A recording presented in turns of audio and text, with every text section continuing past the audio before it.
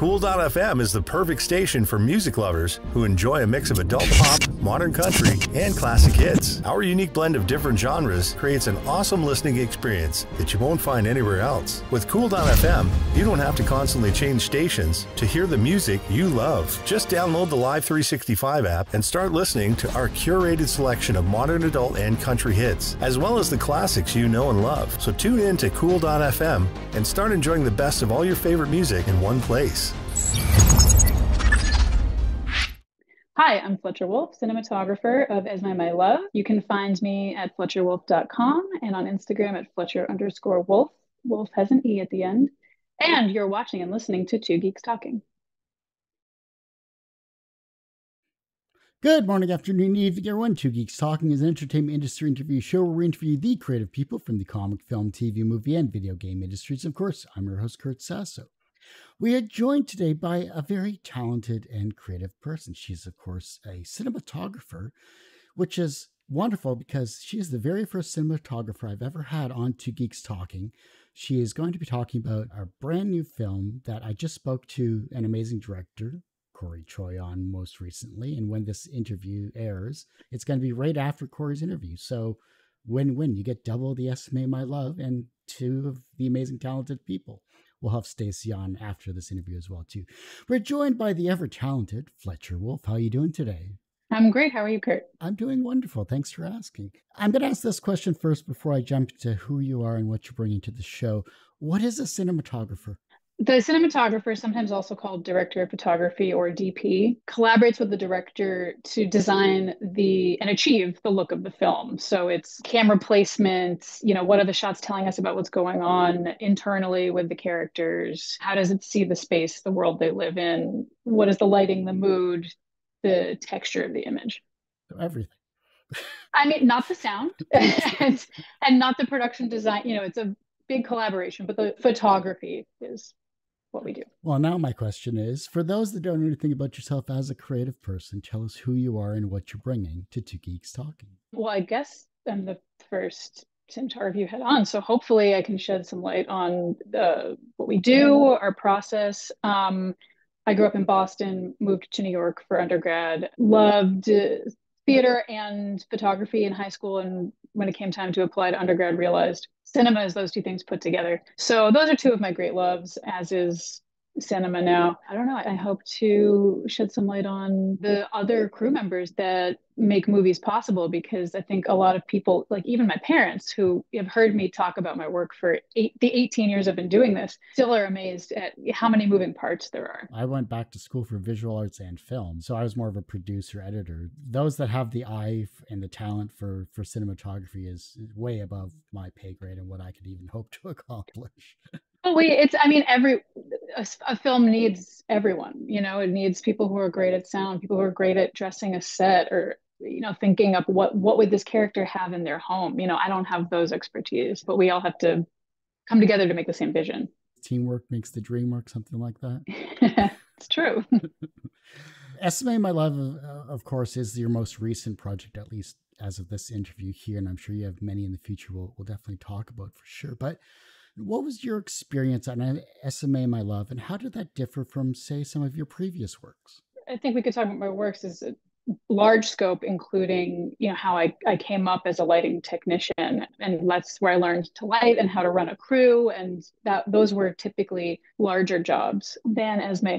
Esme My Love is a wonderful film, but it, you know it had its challenges in that it was a micro budget thriller, very small crew, very small cast, which was actually kind of wonderful because we really got to know them very well. Know, we spent every day with Stacey and Audrey, and I'd say yeah, I'd say this is one of the more intimate projects I've done because of the size of the casting crew. One of the more challenging ones I've done because, you know, our principal photography was only 13 days just due to budget. We did add some pickup days after that. Yeah, I mean, I think what informed my work on this and sort of a through line is that, you know, the the work I had done in lighting on larger projects, of course, you know, gives you the tools to sort of think about how to tackle different projects. And then my work uh, as a DP or cinematographer on documentaries also informed this project because we were working in the woods with a lot of natural light and limited ability to control it. Uh, you know, so we were using very run and gun minimal tools to try to shape the world and give it a mood. Does that give you a bit of freedom, or does it add more complexity to your style of shooting? Mm. Yeah, I think you have to. I mean, ideally, you find locations that work well for the film because then you can embrace them and you're not fighting what's on screen. And having minimal tools, yeah, I, I do find that some strictures do help me be creative because if you're given the world, you know, it's almost like where do you start? Well, Cory mentioned something in his interview, and it was two scenes in particular. And, please add any more challenging scenes that you had to shoot as well. One was a, a diving scene uh, that Stacey had to go through, and the other was a car scene with a car that didn't quite work very well. yeah we I, I guess I should feel a little bad because I pushed to use that as picture car because it was so it just looked good on camera, you know. It was like a 1990 boxy, you know, thing I remember from my childhood. Sort of made me think of the woods, and you know, it had trouble starting sometimes. The underwater scene was definitely challenging. Um, we had tried to do all of it on our last day of principal photography upstate, way upstate in Hague, New York, in Lake George took boats out to an island because this place had a great dock and we we got all of the um, above water stuff there stuff in the canoe the stuff on the dock. But yeah when it came time to get the stuff that was underwater or partially underwater there was a leak in the the underwater camera housing. The water was too murky to see anything. Things that you know on a bigger budget film you maybe you've scouted you know you've, you've been able to do more prep to sort of like fix all these issues. So anyway, we didn't really get the underwater stuff. We got a lot of that as pickups later in a pool, which was a much more controlled environment.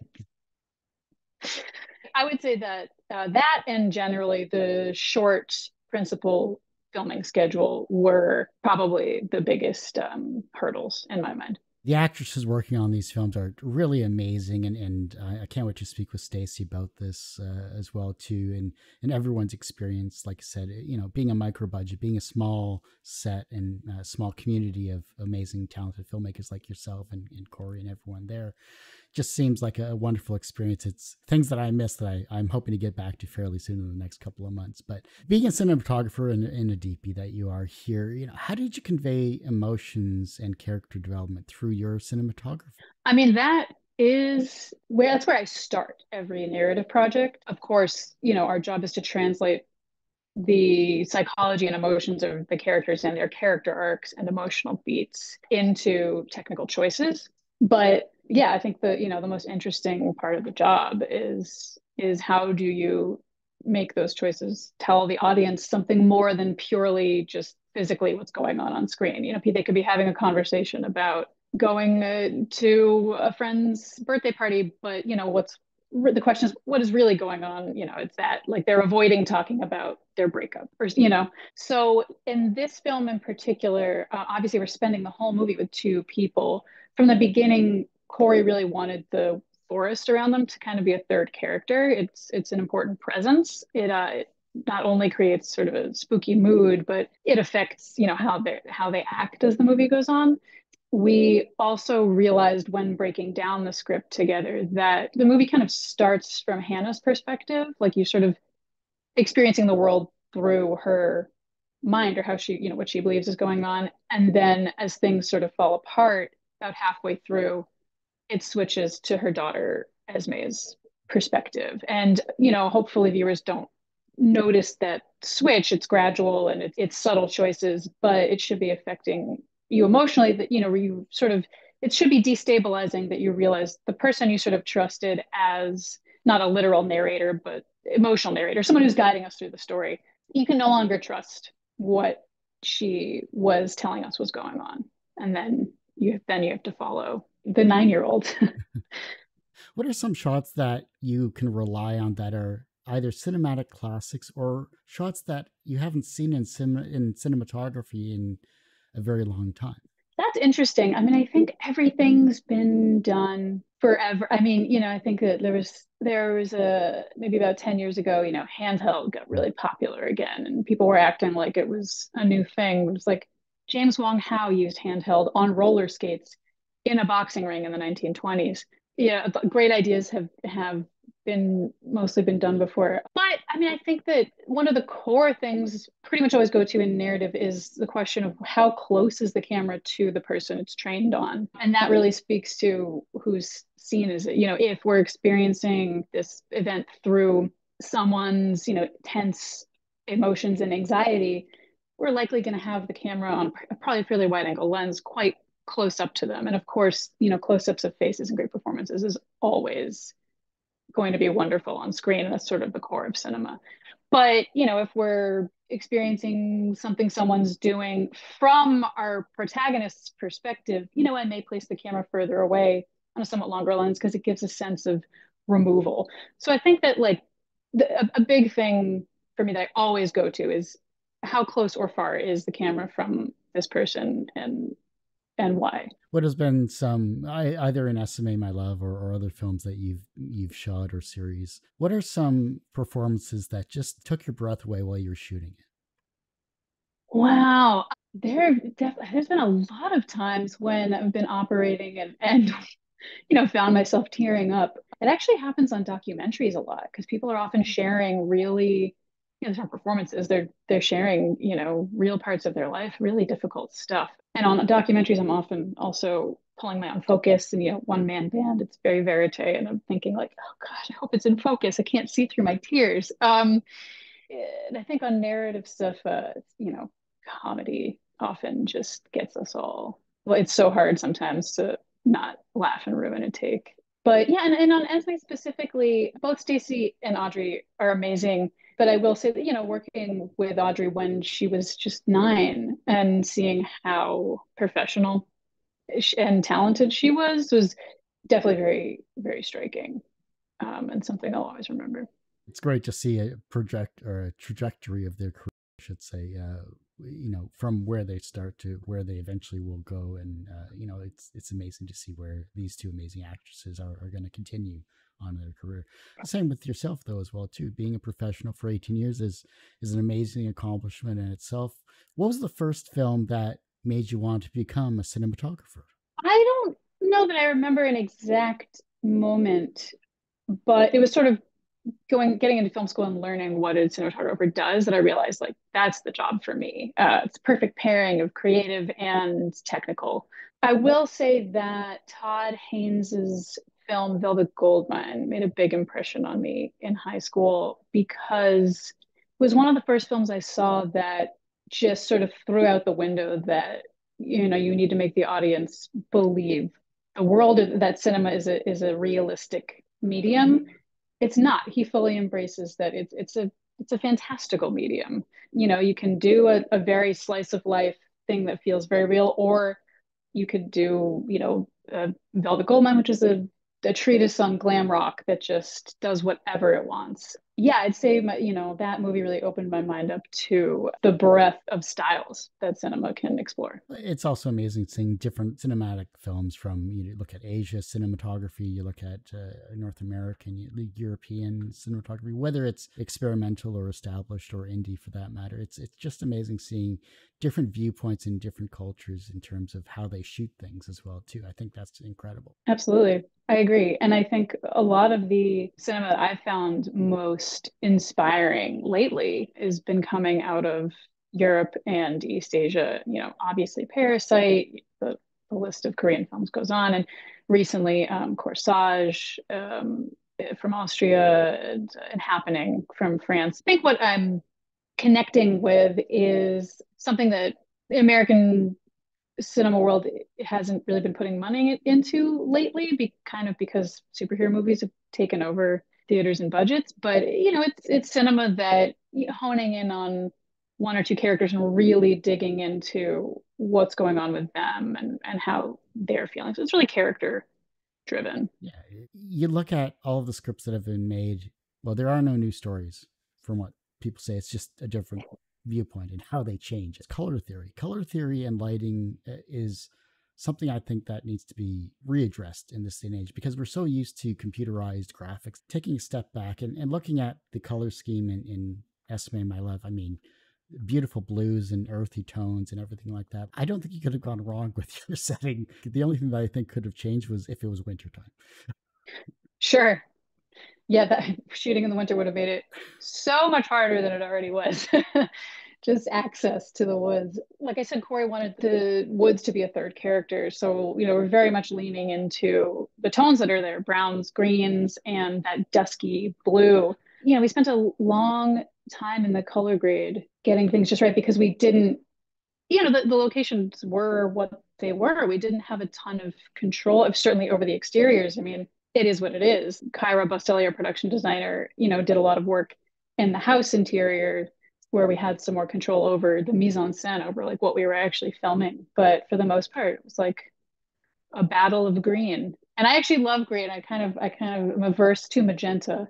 But then that came up in the color grade, you know, trying to sort of play down the greens to some extent so they weren't nuclear uh, neon, you know, not pulling our attention and, and also not letting skin tones go magenta. So yes, color theory is very important. Reverse to magenta. That's the first time I've heard that. Yeah, I just really don't like it. was there was there a set you just got overloaded on it? Uh... No, no, it's just my it's just my personal taste of, of what I want a cinematic image to look like. Yeah, I think magenta and skin tones is, is not my favorite thing. Here, is there anything that I haven't touched on that you'd like me to ask you or showcase or share with those that are watching and listening to this interview? Hmm.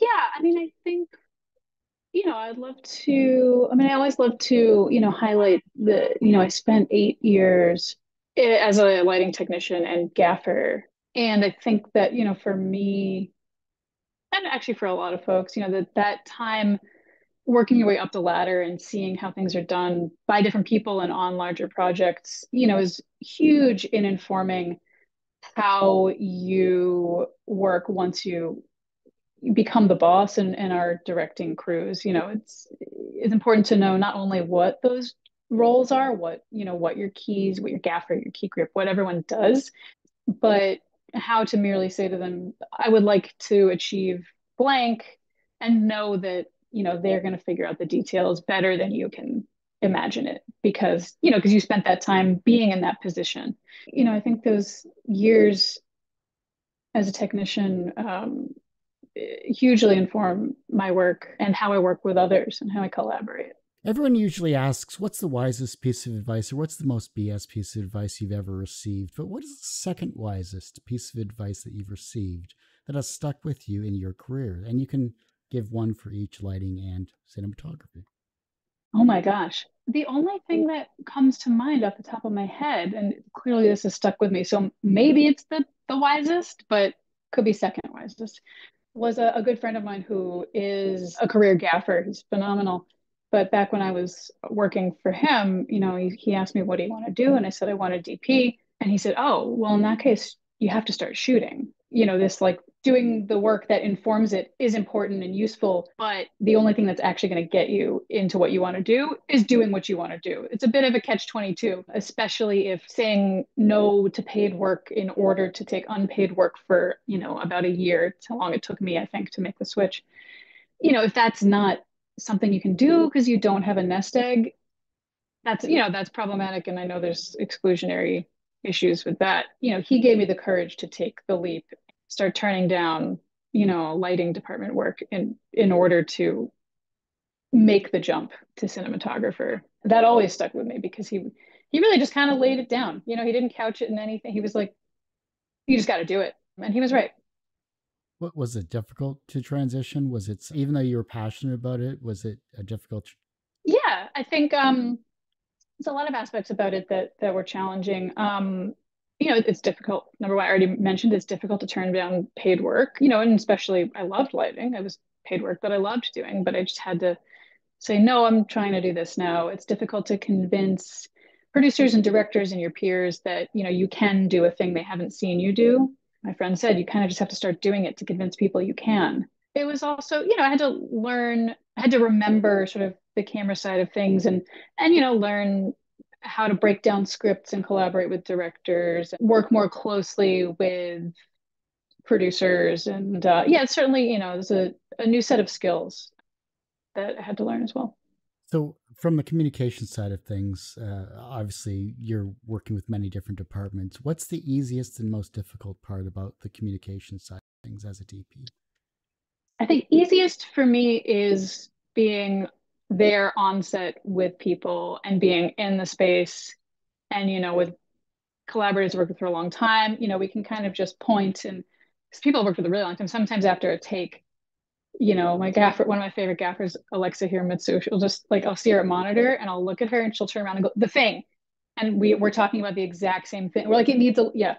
Um that to me is the easiest just you know we're working with people that that we we know each other really well and we're both there on set. I think one of the most difficult things you know finding the tools and prep that allow you know me to help me visualize and get those ideas somehow onto paper digital whatever it is just get them into a format that other people can see so we all know the direction we're headed. It can feel tedious. Sometimes it can feel like spinning wheels. Um, and sometimes a lighting diagram and go like i know what i want this to look like but then it's just represented by little little cartoons and then you hand it over and hope your rigging gaffer or whoever you know knows what you're going for. Um so yeah before before things are actually happening it can all seem a little a little nebulous. How important is a shot list to a dp it depends on the project. Um there are some films i always start on a narrative project with the, the sort of psychological emotional undercurrent reading of the script which then informs the shot listing and honestly you know for a feature usually the director and i spend two to three weeks shot listing it takes a long time and with a film like Esme My Love, which is a thriller, so it's very much about specific moments. We have to hit certain beats and you have to only give the audience information at specific times, otherwise you've ruined, you know, the the mood and the thrill. Um, shot listing is very important and it really kind of has to be designed ahead of time um, because you're doling out information bit by bit very carefully. Um, in other films, you know, we may just say, okay, for this scene, we know we need to cover this person and that person, and we want a wide to encompass them. But you know, it may be a more uh, performance-based film, and maybe the director wants the actors to have some freedom. In which case, um, have a very we might have a, sort of bare bones shot list and then uh, you know when blocking at a blocking rehearsal on the day when we start doing a scene we actually work out what's happening and, and then we nail down what the coverage is for certain parts of the scene. Um, so it really depends on the nature of the project. Yeah no i mean i think a big part of the dp's job a big part of our responsibility is figuring out how to not only get what we want and what we need on screen, but make our days. No one wants to go into OT. It happens. It happens a lot, but you know, I feel like if I can if I can help us make our days, then I'm doing my job right. You I mean you also have to fight to get, you know, to make it look good and make it look like you and the director want it, but there's always a balance. Always uh balancing that with reality and time. Everyone has one person that inspired them on their path to where they are today. Who was that for you? I'd say there's probably a lot of people who inspired me. I'm going to go with one of my cinematography professors in undergrad. His name was Tom Mangraviti. He was like in his 80s, been teaching for a while. He had been like big fashion DP in the 60s in New York. And before that, he had helped invent the touch tone telephone. I mean, this guy was a legend and I just liked his style. I liked how he worked on set. He kind of had this old school like, yeah, just get it done. And I kind of yell at everyone, but it's nice yelling. And um, he inspired me to, you know, kind of when I met him, I knew that this was indeed a job I wanted to do. From a professional standpoint, you have been in the industry for 18 years as a well, an amazing not only lighting technician as well as a cinematographer. I'm sure you're going to do many amazing things in the future that we just don't have time to talk about today, which means you have to come back on and talk about your future projects as well too. So I can't wait to have you back on for that. So professionally, you are successful in that regard. Do you consider yourself personally successful? Um, I think there are projects I would like to be doing that I'm not yet. And a lot of that is market forces. As we speak, the Writers Guild is on strike. Um, you know, you may be familiar with some of the difficulties the film industry is having. Yeah, when I look back at the relationships I've, you know, built with directors I've worked with and, and crew um, over the years, I'd say that I feel quite proud of that. And yes, feel feel successful and just sort of being able, you know, to make a career of of freelancing in this industry. I think a lot of us can be hard on ourselves. You know, why oh, why am I not, you know, shooting Star Wars now? That's obviously I went real high with that one. But, you know, I think it's good to take a step back and realize what you have accomplished and the fact that you know if you respect your peers and the people you work with which i do then i think you know you should be grateful for that the reverse of success is failure how do you deal with your failures well we're usually our own harshest critics and sometimes to me a failure is like not being stoked on a shot and i'm you know when i'm the color grade eh. and then people i respect and, and work with will be like, oh, it works great in the scene. You know, what's wrong with it? So I think like not getting hung up on things that you see as a personal failure is important. You know, certainly try to remember what you wish you had done differently and improve on it the next time. You know, and or I think in order to take those your own notes or notes from collaborators and put them into practice, you know, the next time, you have to have some ability to not get hung up and set things aside. The younger generation is looking at your work and they're becoming inspired to be creative in their own way, whether it's as a DP or something in the film industry that you've inspired them through our conversation today or professionally in your own regard. Maybe you've inspired them to do something amazing. How can they inspire the generation that follows them? With social media now, it's it's easy to see people's work and reach out and say, "How did you do that?" Um, which is important. You know, it's great to talk and you know discuss amongst ourselves, you know, how how we do the work. But it's also, I think it's really important to not jump straight to directing or DPing or production designing and not have done, you know, uh, at least a few years of work, maybe lower down on the ladder, watching how people get it done. Take the inspiration and let that guide, you know, what you're paying attention to and what you're seeing as you work on other people's projects and then that's certainly what I did. And I do think it is important to not sort of just rush into, you know, having a, an Instagram page that maybe looks pretty, but maybe you don't have the experience to run a crew. Because, yeah, inspiration, the look is part of it, but knowing how to achieve that and respect the dozens of people who are depending on you um, to run things well and, and with respect is equally part of the job. You have to know how to achieve the look well you know, ask questions not just about how the image was achieved, but also why and who the who else who helped because it's a huge collaboration. And then learn how to do things cons- with everyone else in consideration and then pass that on hopefully to the generation following. If your life was a film what would its title be and what would its soundtrack be? Whoa. Oh no i've never thought of this. Um, my life was a film. It would probably be called. Um, I mean, honestly, The Great Muppet Caper, but that's already taken. Yeah. Oh man, I don't know. They call me Fletch. No, I'm kidding. You know, even Fletch is taken too. Yeah. Um, Darn you, Chevy Chase. Darn you, Chevy Chase. Yeah, man, wow, what a great question. I don't know. It would take me a while to come up with this. I feel like titles are particularly hard to come up with. The soundtrack would be probably a, I have a very eclectic taste in music. So it would probably be a, a mix of um, musicals, Bob Fosse musicals, uh, some punk and hardcore. You know, I think rock musicals really, they really hit a spot for me because they combine those two. So big fan of Rocky Horror and Hedwig and all that. Well, Fletcher, I do hate to say it, but that ends this particular episode of Two Geeks Talking. I want to thank you so much for coming on the show. Thank you for having me. Before I let you go, where can we find you? How can we support you? Of course, where can we find you on this wonderful world of the internet and anything else you'd like to promote? My website is just fletcherwolfe.com. Wolfe is spelled with an E, as you can see in the lower third. I'm on Instagram, also at Fletcher underscore wolfe. As I My Love has its own website and it will be available streaming on June 2nd, Amazon, Apple, Google Play, and Tubi. Well, like I said, that is this particular episode of Two Geeks Talk. You can, of course, find this interview and a thousand plus others, more like 1,200 by now. I've lost count, but you can find it on our website, tgtmedia.com, or twogeekstalking.com. That's the word two, not the number two.